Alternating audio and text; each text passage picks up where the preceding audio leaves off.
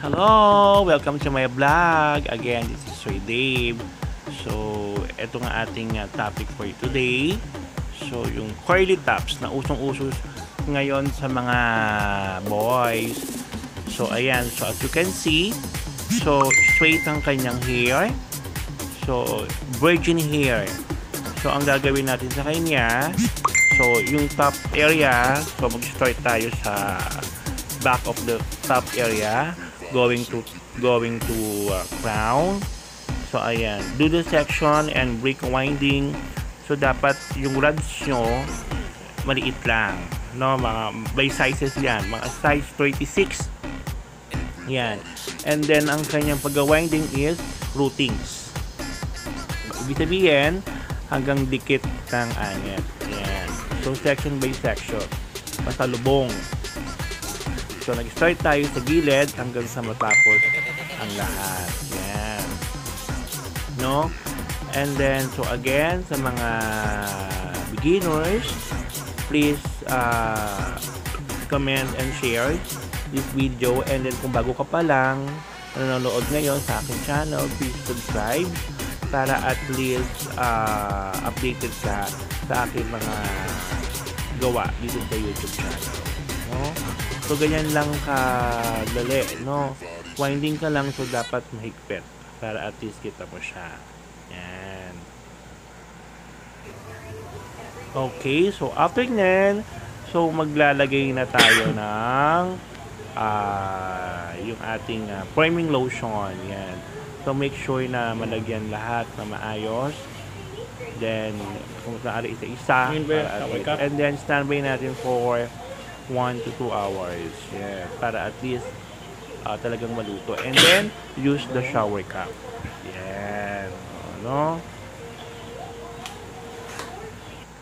And then, babalawan natin. So, after ng bala, balaw lang natin ng water. No? So, after balaw ng water, uh, towel dry lang.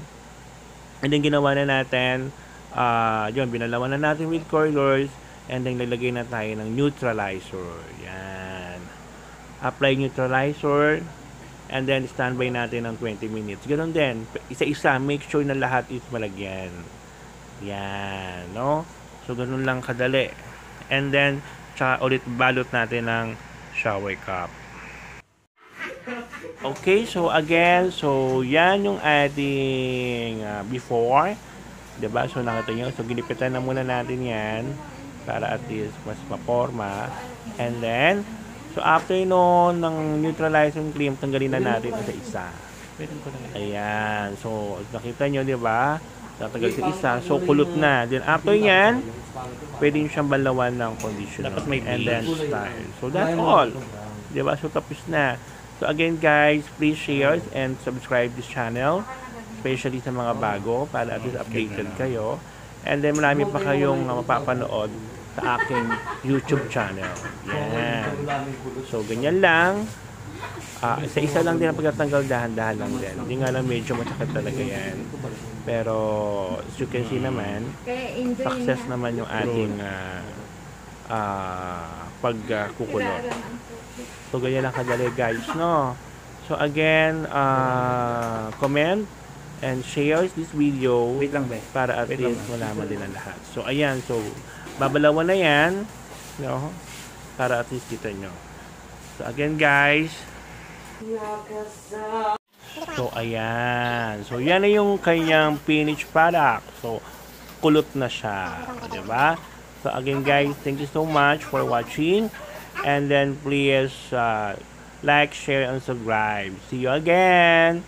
Bye